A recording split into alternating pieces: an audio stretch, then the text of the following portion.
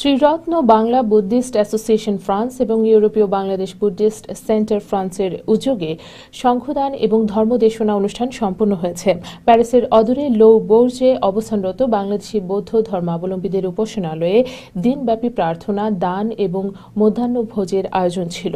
এ সময় সংক্ষিপ্ত আলোচনায় উত্তম বড়ুয়ার উপস্থাপনায় সাংখ্যিক ব্যক্তিত্ব পণ্ডিত প্ররব ভদন্ত প্রজ্ঞা বংশ মহথেরও সভাপতিত্বে বক্তব্য রাখেন ত্রিরত্ন বাংলা বুদ্ধিস্ট অ্যাসোসিয়েশনের সভাপতি পিনু বড়ুয়া, ইউরোপীয় বাংলাদেশ বুদ্ধিস্ট সেন্টার ফ্রান্সের আহ্বায়ক দেশপ্রিয় বড়ুয়া টিঙ্কু।